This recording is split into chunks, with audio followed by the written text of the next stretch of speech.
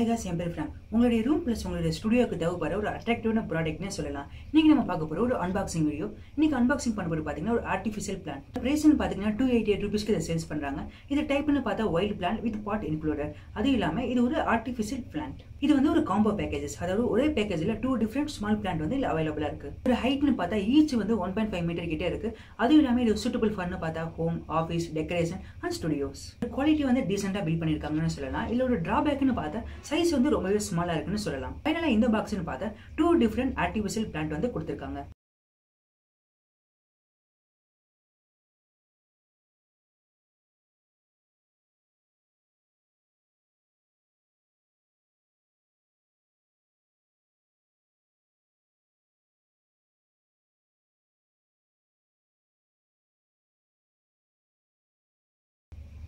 Okay guys, thanks for watching.